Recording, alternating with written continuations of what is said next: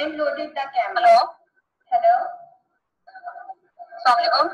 वालेकुम कोई ट्रेडिशनल समंदर के अंदर जा रही है पहले तो वो उस ट्रेडिशन को पढ़ेगी तो फिर ही उसको पता चलेगा ना कि वो समंदर के अंदर अब एक डाइव करने जा रही है उससे पहले उसको एक पूरी किताब पढ़नी पड़ रही है कि बेसिकली सोसाइटी की क्या एक्सपेक्टेशंस थी उस औरत से एंड लोडेड द कैमरा और अब वो camera basically history historical events को बेसिकली वो उसके हिस्टोरिकल फैक्ट्स जो हैं वो जो रिकॉर्डिंग्स हैं वो उसको देख रही है उसको रीड आउट कर रही है and check the edge of the knife plate and put on the body armour of black rubber और वो ये सारे सोर्सेज ऑफ़ इन्वेस्टिगेशन जिसमें कैमरा है एज ऑफ़ नाइफ ब्लेड है उसको चेक कर रही है बॉडी आर्मर है और ब्लैक रबर और एंड एब्जर्व फ्लिपर्स और ये वो फ्लिपर्स हैं जो उसको पानी में सी के अंदर जाने में आ, उसके अंदर सरवाइव करने में उसको सपोर्ट करेंगे।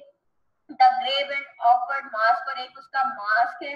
I am having to do this not like costume मैं ये करने जा रही हूँ कॉस्ट्यूम की तरह नहीं। कॉस्ट्यूम एक डाइवर था ठीक है? जो कि समंदर के अंदर गया था। बेसिकली वो भी किसी रेक के लिए गया था और उसको फाइंड आउट करने गया था कि बेसिकली वो उसकी सारी इन्वेस्टिगेशंस uh, लेने गया था कि आखिर ये जहाज़ कैसे डूबा इसके साथ क्या हुआ। जैसे टाइटैनिक के साथ हुआ था ना टाइटैनिक पे पूरी मूवी बनी है। इसी तरह पॉजिटिव एक डाइवर था, जो कि इस तरह से एक पूरी टीम के साथ समंदर के अंदर उसने गोता लगाया था और वो पूरी इंफॉर्मेशन के साथ फिर बाहर आया था। लेकिन वो कह रही कि मैं कॉस्ट्यू की तरह नहीं जा रही विद हिज ऑडियंस टीम जो कि अपनी पूरी टीम के साथ गया था aboard the sun floating schooner but here alone और जो है वो सन फ्लोटेड स्कूनर के साथ किया था। Aboard the sun floated schooner but here alone लेकिन यहाँ पे मैं बिल्कुल अकेली मतलब वो तो मर्द था ना, उसके साथ तो पूरी टीम थी, लेकिन क्योंकि मैं औरत हूँ और मैं, मेरे पास कुछ भी नहीं है सिवाय कुछ सोर्सेज ऑफ़ इन्वेस्टिगेशन में के, जो कि उसने ऊपर बताया कि एज ऑफ़ नाइफ ब्लेड है, इसमें बॉडी आर्मर है, या ये स्लिपर्स है। अब इसमें सिग्निफिकेंट सिंबल्स आप एक दफ़ा लिख लें। एक तो बुक ऑफ़ मैथ्स को लिखिएगा नंबर वन सिग्निफिकेंट सिंबल्स के पॉइंट्स लिखिएगा। बुक ऑफ़ मैथ है टाइपिंग सूट है, ठीक है? उसके बाद लेडर आएगी। लेडर है ocean exploring the wreck drowned face अब मैं one by one in significant symbols को थोड़ा सा आपको, ये टोटल इसके सिग्निफिकेंट सिंबल्स हैं जो इन टेन स्टेंजास पे बेस्ड है। मैं पहले आपको इसकी एक शॉर्ट समरी बता देती हूँ। बेसिकली वो सबसे पहले एक बुक ऑफ़ मैथ है जो कि ट्रेडिशंस पे बेस्ड है। उसके बाद वो डाइविंग सूट है उसका, ठीक है, जो उसकी प्रोटेक्शन का बाइस बनेगा उस सी में जाने के लिए। उसके बाद आती है ladder ladder is the symbol of survival ladder पानी के अंदर भी है लेडर पानी के बाहर भी है और ये वो लेडर है जो कि स्कूनर के साथ लगी है। स्कूनर बेसिकली एक बड़ा सा जहाज़ है जो कि डाइवर्स के लिए यूज़ होता है। उसके साथ एक लेडर भी लगी हुई होती है। तो लेडर बेसिकली सम, समंदर के अंदर जाने का भी सोर्स है और समंदर से बाहर आने का भी सोर्स है। ठीक है? उसके बाद ocean is the same tradition जो कि बुक ऑफ़ मैथ है।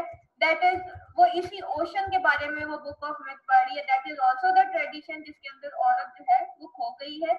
एंड एक्सप्लोरिंग द रेक ये आपको स्टैंडर्ड नंबर सिक्स में आएगा एक्सप्लोरिंग द रेक ठीक है बेसिकली वो क्या करने जा रही है? ओशन में वो उस रेक को एक्सप्लोर करने जा रही है. उस वुमेन को एक्सप्लोर करने जा रही है जो कि रेक बन चुकी है.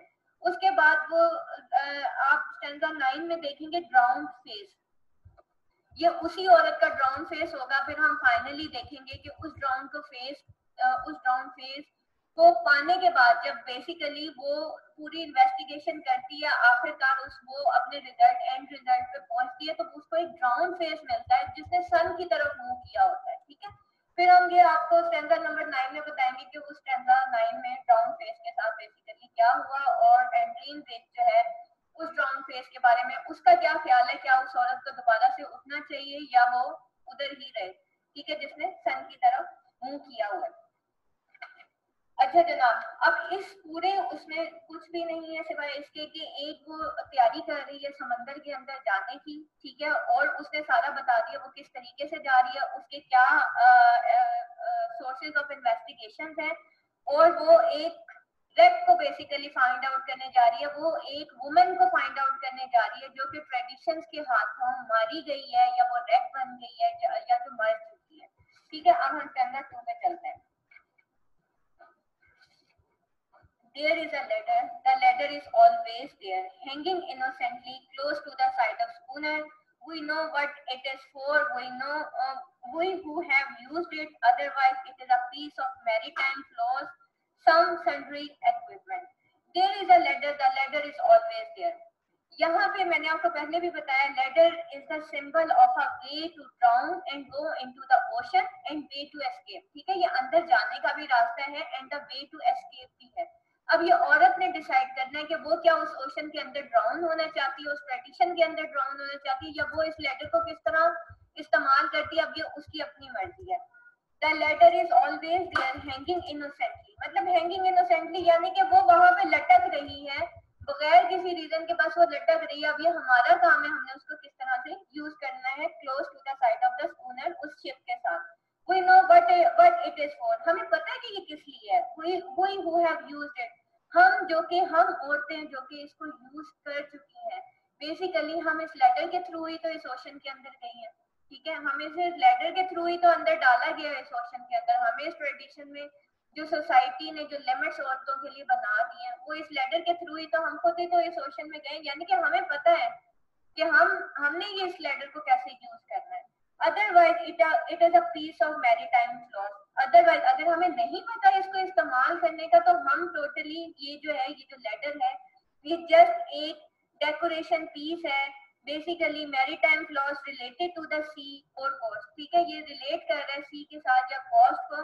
कॉस्ट के साथ कि अगर हमें एक चीज़ का पता ही नहीं है, हमने, हमें पता ही नहीं है कि इस लेटर को यूज़ कैसे करना है तो वो हमारे लिए क्या होगी? वो एक डेकोरेशन पीस है। जिस चीज़ को हम यूज़ नहीं करते, उसको हम क्या कहते हैं? कि जस्ट एक डेकोरेशन पीस है। सम सेंड्री इक्विपमेंट ठीक है? कोई सेंड्री इक्विपमेंट है, जो कि उस स्कूनर के साथ लटका हुआ है, और वो जो है, उसको हम यूज़ करना हमें नहीं आ रहा। अब यहाँ पे हम ये देखेंगे कि इसके सिंबॉलिक मीनिंग्स क्या है बेसिकली अभी जो पोइट है पोइटस है, जो फीमेल पोइटस है हमारी, वो अब समंदर के अंदर जाने की तैयारी कर रही है। अब वो लेटर की सिग्निफिकेंस बता रही है कि हम इस लेटर के साथ अंदर भी जा सकते हैं, हम इस लेटर से बाहर भी निकल जा, निकल सकते हैं। I go down rung after rung and still अब वो उसी लेटर की बात कर रही है कि मैं उस लेटर से नीचे जाती हूँ rung and after rung and still और मैं उसके अंदर डूबती ही चली जाती हूँ और बेसिकली अब वो गो डाउन जा रही है मतलब नीचे जा रही है, क्या करने के लिए? Investigate the to investigate the culture ठीक है? बेसिकली अब वो उस ट्रेडिशन को फाइंड आउट करने जा रही है, किस ट्रेडिशन ने इस औरत को रेक बनाया है।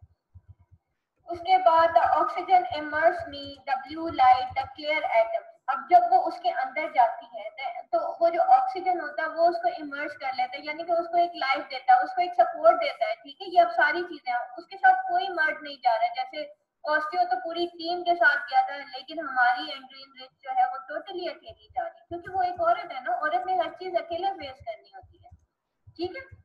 तो अब उसके साथ क्या, उसका एक ऑक्सीजन है, जिसने उसको इमर्स किया, यानी कि उसको वो थोड़ी सी सपोर्ट दे रहा था। Blue light the clear atom अब वो इस ट्रेडिशन के अंदर जाते जाते जो है ना, वो उसके अंदर खोती जा रही है। अब उस ट्रेडिशन के अंदर वो जाएगी तो वो उसके अंदर जाते जाते अपनी आइडेंटिटी तक भूल जाएगी, ठीक है? वो भी उसी का हिस्सा बनने जा रही है अभी। The blue light the clear atoms of our human life अब वो द उस ऑक्सीजन ने उसको इमर्स कर लिया और इस blue light blue light is basically familiarity और सब सब लाइफ सिंबल ठीक है? ये या तो फैमिलियरिटी है या सब लाइफ सिंबल है। और clear atom basically visible atoms और कंट्रीब्यूटिंग फोर्सेस ठीक है? ये वो कंट्रीब्यूटिंग फोर्सेस है जो कि उसको उस ओशन में सरवाइव uh, करने के लिए सपोर्ट देंगी। I go down my flippers cripple me मैं नीचे गई और मेरे फ्लिपर्स जो हैं उन्होंने मुझे सपोर्ट किया। I crawl like an insect down the ladder अब जब वो उस समंदर के अंदर गई, समंदर के ऊपर तो हम, ज़मीन पे तो हम चल रहे होते हैं, इंसानों की तरह जी रहे होते हैं, लेकिन जब वो नीचे गई तो वो किस तरह से कर रही है, वो कह रही है I crawl like an insect तो वो एक सब ह्यूमन बींग की तरह, एक हकीर से कीड़े की तरह वो उसके अंदर जो है, वो क्रॉल कर रही है and there is no one to tell me when the ocean will begin और यहाँ मुझे बताने वाला कोई भी नहीं है कि ये ट्रेडिशन कब स्टार्ट होगी, ये ओशन कहाँ से शुरू होता है, मुझे इस ओशन में क्या करना है? यानी कि वो उस ओशन में टोटली अकेली है और उसको वहाँ पे सपोर्ट करने वाला कोई भी नहीं है। और बेसिकली ये ओशन क्या है? Ocean is the symbol of culture symbol of past past of history the symbol of metaphysical life the symbol of invisibility ठीक है? ये जो ओशन है, ये सिंबल ऑफ़ कल्चर है सिंबल ऑफ़ पास्ट है पास्ट ऑफ़ हिस्ट्री है।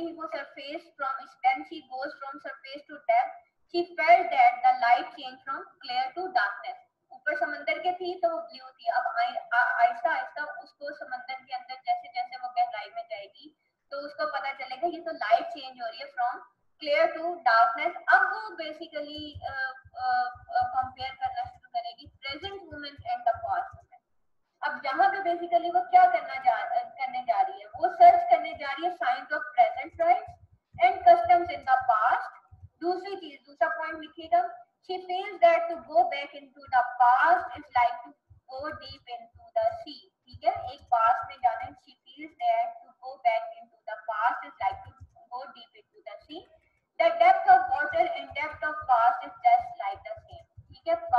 की डेप्थ और वाटर की डेप्थ दोनों सेम है अब वो पैरल लेके चल रही है पास्ट को और डेप्थ ऑफ़ ओशन को या डेप्थ ऑफ़ वाटर को the near past and near surface water the same In her dive into the past or dive into the culture, she was alone. Is the past? May.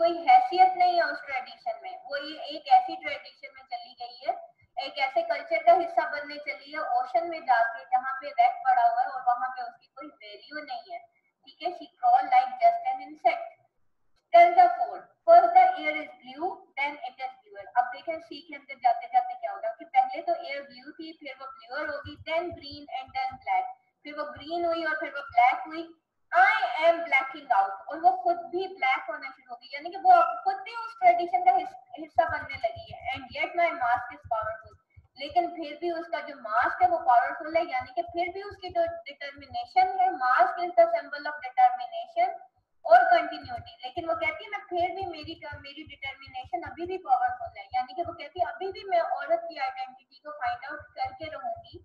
कि past की औरत की identity क्या है? औरत का असल बेसिकली उसका उसकी आइडेंटिटी उसका कल्चर उसके कल्चर में हिस्सा, उसके राइट्स में उनको पा के रहूँगी। It pumps my blood with part और ये जो मास्क है, ये जो डिटर्मिनेशन है, ये मेरे ब्लड को पंप करती है विद पार्ट स्टोरी ये जो समंदर है, ये कल्चर है, ये जो पास्ट है ट्रेडिशन है, ये तो कोई एक और स्टोरी है। The sea is not a question of part ये जो समंदर है, या ये कल्चर या पास्ट या ट्रेडिशन जो है, ये कोई क्वेश्चन ऑफ़ पार्ट नहीं है. I have to learn alone मुझे ये सब सीखना है बिल्कुल अकेले. अब ये एक डिटर्मिनेंट इंसान की जो है उसके अंदर एक पार होती है, उसके अंदर एक विल पार होती है, जो उसको बताती है कि मैं, मुझे किसी के सपोर्ट नहीं चाहिए. मैं अकेला ही बहुत कुछ कर सकता हूँ, और this is the very important line अगर अब I have to learn alone कि मुझे अकेले ही सीखना है। हमें क्या चाहिए होता है? हमें बहुत सारी सपोर्ट चाहिए होती है, उसने तो शुरू में ही कह दिया था, मैं तो पॉजिटिव की तरह नहीं जा रही। मैं तो अकेली जा रही हूँ, मैं एक बहुत बड़ा टारगेट अचीव करने जा रही हूँ। और वो कह रही है कि मैं बिल्कुल अकेली हूँ, मैं फिर भी डिटरमाइंड हूँ। ठीक है? और ये चीज़ हमने भी खुद से सीखनी है कि हमें हमेशा हर हाल में डिटरमाइंड रहना है। बेशक वो अकेली है उसकी लेटर भी जस्ट एक जो है डेकोरेशन पीस है। लेकिन she she knows how to use it जो कि पास्ट की वुमेन ने नहीं किया तो उसने अपनी आइडेंटिटी खो दी। लेकिन एंड्रीन रिच को पता है पोइट को पता है। ठीक है? To turn my body without force in the deep element और ये क्या है? I have to learn alone to turn my body without force जब आप वाटर में जाते हैं तो आपकी जो बॉडी होती है, वो फ्रीली मूव करती है। ठीक है? अब वो कहती है कि मुझे वहाँ पे तो बताने वाला कोई नहीं था। पीछे हमने स्टेंजा में पढ़ा ना कि वो बिल्कुल अकेली थी, वहाँ पे उसको कोई बताने वाला नहीं था। अब वो कहती है I have to learn alone to turn my body without force कि मुझे खुद सीखना है कि मैं अपनी बॉडी को विदाउट फोर्स कैसे टर्न करूँगी। इन द डीप एलिमेंट्स इस डीप कल्चर में, इस डीप सी में, इस डीप ट्रेडिशन में, इस डीप पास्ट में, एक जिसे कहना चाहिए, छुपा हुआ पास्ट है जो कि वो एक्सप्लोर करने जा रही है। यहाँ पे यहाँ पे ये जो फ़र्स्ट लाइन में आपको देन नज़र आ रहा है symbolises change and first first line में जो फ़र्स्ट वर्ड है ना it is the symbol of difference in past and present ठीक है? और mostly it shows the beginning of something new or end of something already existing अच्छा जनाब, अब आगे चलते हैं।